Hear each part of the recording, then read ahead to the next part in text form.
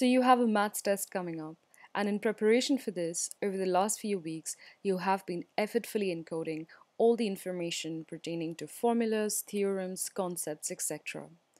What is the one cognitive faculty that will allow you to use this encoded information on the day of the test? It is the faculty of memory storage. Hello and welcome everyone to the third video in the memory series wherein we learn about the concept of memory storage. You can find the list of all the videos that we plan to cover in this particular series down in the description box below as well as pinned to the comment section. We already covered two videos in this series.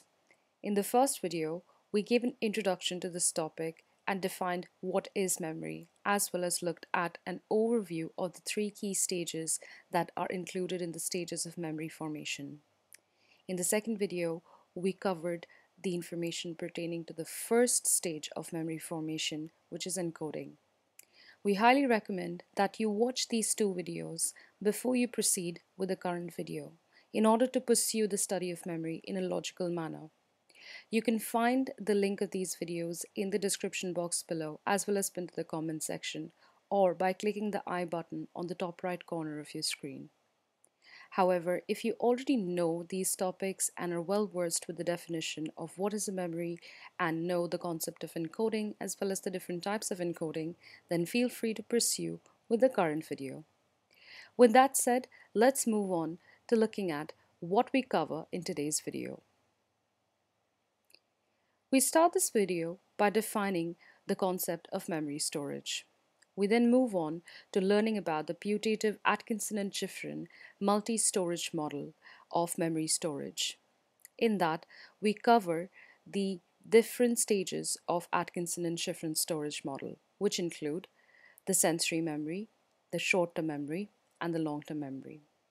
We then move on to looking at the evidence for multi-storage model, and finally end the video by critically evaluating the multi-storage model. With that said, let's proceed to the video. As we learned in the previous videos in this series, memory formation includes three different stages. Storage is the second stage in this process. So let's start by asking the question, what is memory storage? Memory storage can be visualized as a storage space such as this box which we can see is overlaid on the schematic of a brain which stores the information that has been encoded and uploads the same in the storage space. More formally, we can define memory storage as the act and the process of storing effortfully encoded information in the brain with an aim to create a more permanent record of it for retrieving it or recalling it at a later stage. Now that we have the understanding of what memory storage is and know its definition, let's understand the stages of memory storage with the putative Atkinson and Shiffrin's multi-storage memory model. Richard Atkinson and Richard Shiffrin proposed that the purpose of the cognitive ability of memory storage, as we reviewed in the definition, is to store previously encoded information in order to supply us with this information at a later time in the future. In 1968, they proposed the structural model or the modal model of memory storage referred to as the multi-store model of memory storage with an aim to explain how the effortfully encoded information is stored in the human memory for serving the very purpose of providing it at a later time. The multi-store model was proposed in the 1960s, an era in cognitive psychology wherein cognitive psychologists explained human cognition by drawing parallels between the functionality of computers and human brains. In light of the influence of this approach during this era, Atkinson and Shiffrin also drew parallels between the information processing and memory storage occurring in computers with the information processing and memory storage occurring in human brains and posited that the effortfully encoded information passes through various distinct stages and is subject to specific control processes before being fully consolidated in the memory storage for later retrieval or recall. Specifically, Atkinson and Shiffrin model proposed that the encoded information passes through three distinct stages and three different types of control processes in this process. The three distinct stages that this model proposed are sensory memory, short-term memory, and finally the long-term memory. Moving on, let's dive a little deeper into this model and understand how the encoded information passes through the three distinct stages of memory storage and how it is augmented by the control processes with the help of a box and arrow styled multi-store model schematic. So according to this model schematic and this model, the process of memory storage begins when we firstly come across the information from outer environmental stimuli and we perceive and encode this information via our sensory routes. This recently perceived and encoded information then directly reaches the first stage in the multi-store model, which is the sensory memory stage. Now, before proceeding to understanding what each of these units are, note that the multi-store model proposes a number of control processes. Now, control processes are a set of intermediate cognitive processes that govern and facilitate how successfully the information is transferred from one unit of the model to another unit.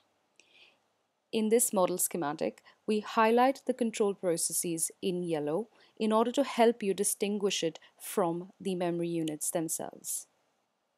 Moving on, according to this model, it is crucial to pay active attention to the information in the sensory memory register for it to proceed to the next storage unit, which is the short-term memory. In this information storage stage, the cognitive process of attention is the control process exercised. It is the first control process introduced in the multi-store model, and its chief function is to facilitate the transfer of encoded information from the sensory stage to the STM or the short-term memory. Note that any encoded information at the sensory memory stage that is not subjected to active attention is often lost and does not therefore transfer to the next stage of short-term memory. Following this, the model proceeds to the next storage unit, which is the short-term memory or the STM stage. Now, the capacity of the STM is low due to which the information in this stage is only held for a short period of time. This characteristic is where this unit gets its name from. Now, because of the short-term nature of this memory storage unit, it is key that the information in STM is subject to the next control process, which is active rehearsal. Now, active rehearsal allows the information in the short-term memory to be active and maintains it there. There are various ways in which rehearsal might occur. One common example is repetition of information verbally, such as when you're trying to remember, say, a four digit code by repeating it constantly verbally till you get that piece of information written down on a paper or consolidated. This brings us to the next function of the control process of rehearsal, which is to maintain the information in the STM long enough so that it can be transferred into the long-term memory storage unit. Now, this continuous process of maintaining the incoming encoded information from the sensory unit to the STM and holding it long enough in the STM to transfer it to the LTM is subject to the rehearsal loop process which is simply going back and forth with the control process of rehearsal in order to transfer the information from one stage to the other. Now, the final control process of this model is retrieval. Retrieval essentially is the cognitive process which allows bringing back the information from the long-term memory to the short-term memory as and when we want to use it. Now also note that retrieval is a separate stage in the stages of memory formation and that we will cover this topic in great detail in an upcoming video. But for now, we know that retrieval is a control process in the multi-store model wherein it allows the retrieval or recall of information from the long-term memory to the short-term memory as and when we require it. Alright, so let's look at an interim summary of the model so far. So according to the Atkinson and Shiffrin model, the information passes via three stages, which include the sensory memory stage, the short-term memory stage or STM and the long-term memory stage or the LTM. They are all separate locations in which the information is stored. As per the model schematic, information transfer from one stage to the other stage occurs in a linear and sequential process. In this model, STM serves as the gateway by which the information can gain access to the LTM, and the various memory stores operate in conjunction with the permanent LTM store via the process of attention, rehearsal, and retrieval. Let's now move on to the next section wherein we will briefly look at each of these three stages. Now note that diving deep into each of the units of sensory memory, STM and LTM is beyond the scope of the current video because dedicated videos on each of these topics will be released in the upcoming videos. However, let's build a working understanding of each of these units as a preparation for the upcoming videos.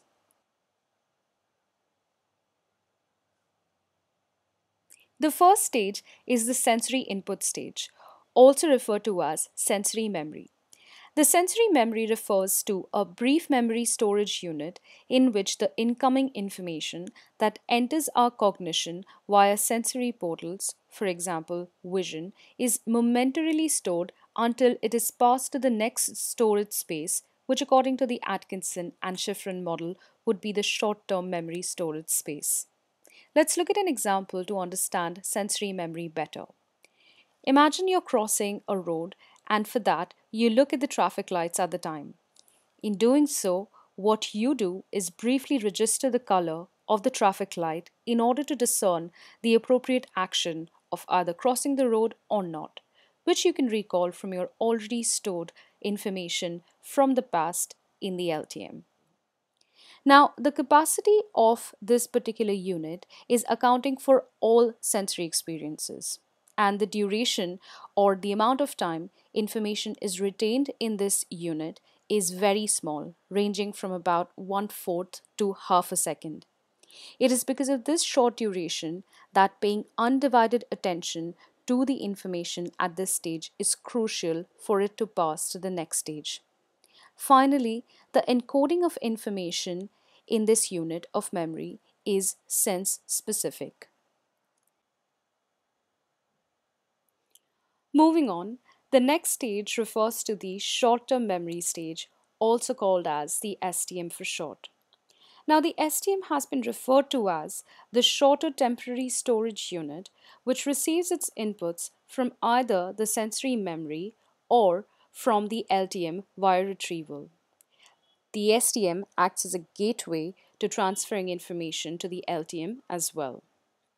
In terms of the capacity, the STM has a limited capacity and can hold up to plus or minus 7 items, that is ranging from about 9 to 5 items.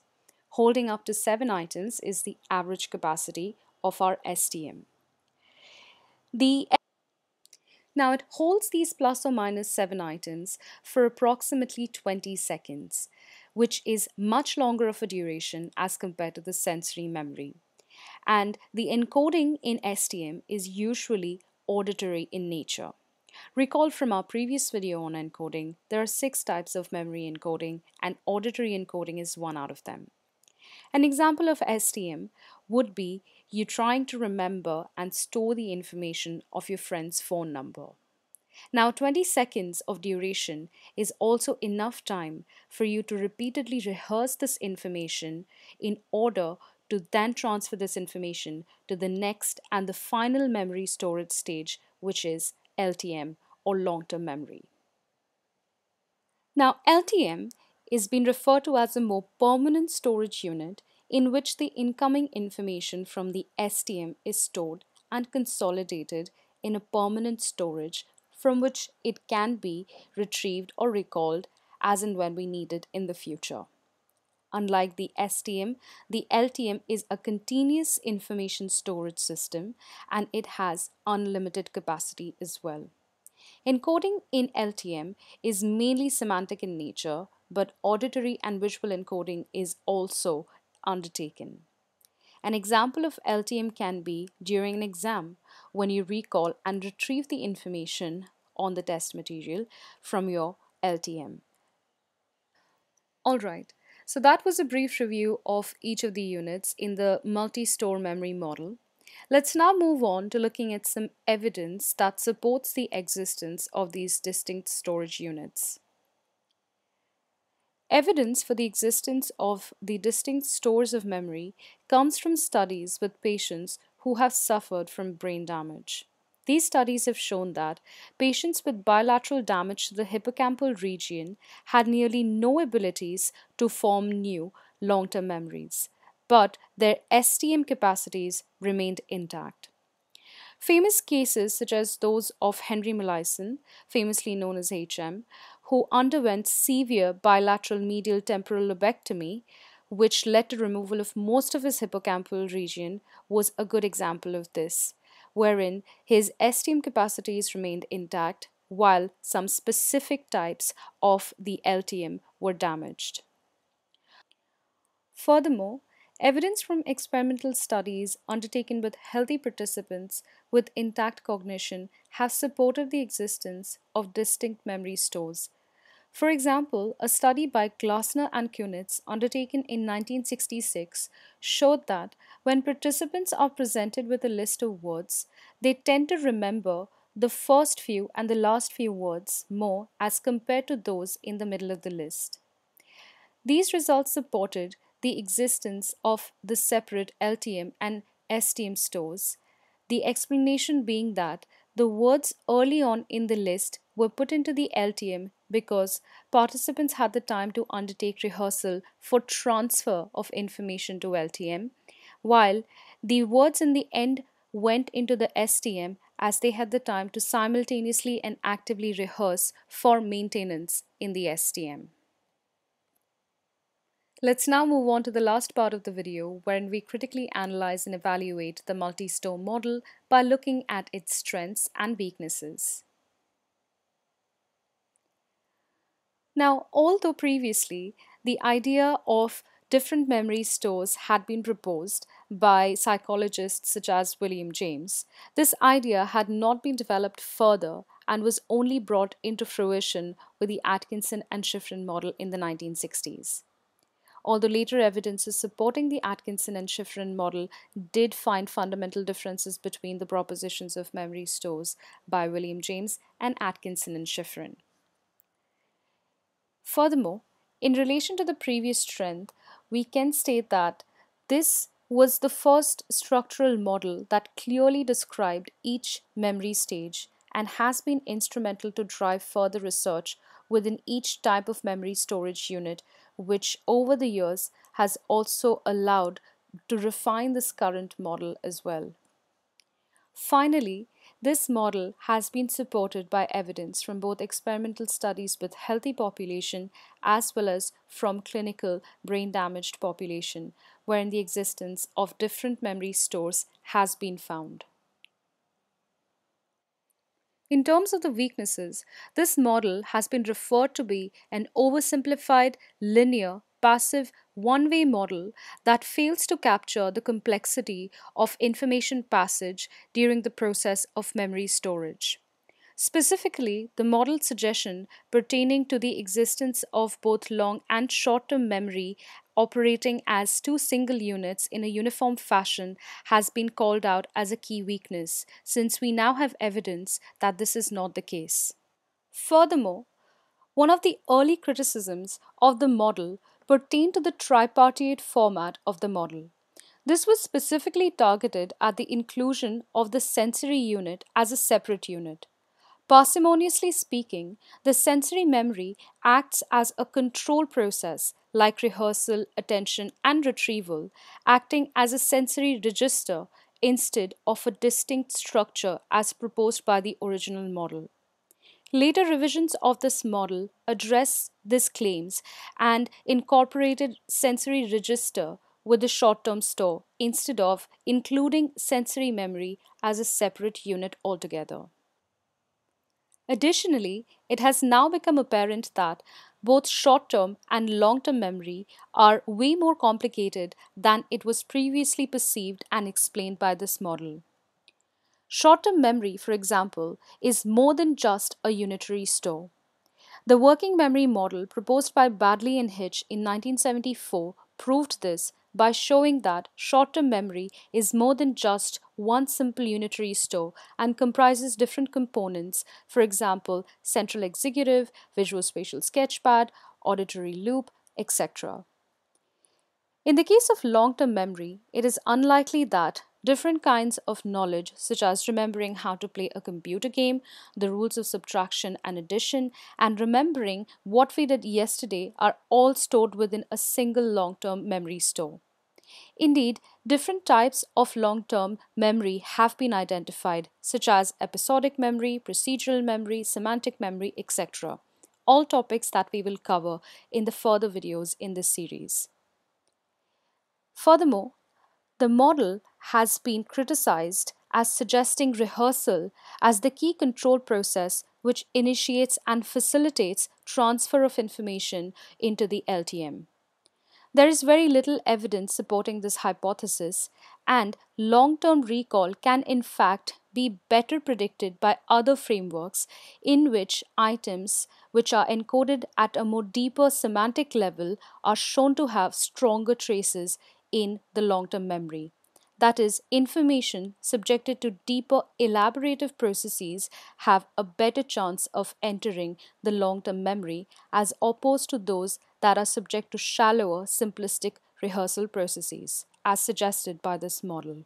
Alright, so that is the end of today's video on memory storage and the multi-store model proposed by Atkinson and Shiffrin. Thank you for watching and thank you for your attention. If you found value in today's video and want to follow through the entire memory series as well as other upcoming videos on cognitive psychology, neuroscience, psychology in general, and research methods used in these fields, please make sure to subscribe to our channel Brainpsychlopedia. Also, like this video, send us a comment and share this video with someone you think will benefit. Do not forget to press the bell icon as it will help you stay updated with all the recent uploads in this channel.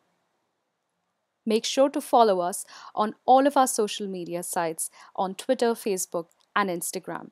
You can find the link of all of these platforms pinned to the comment section below on the channel banner as well as in the description. See you in our next video.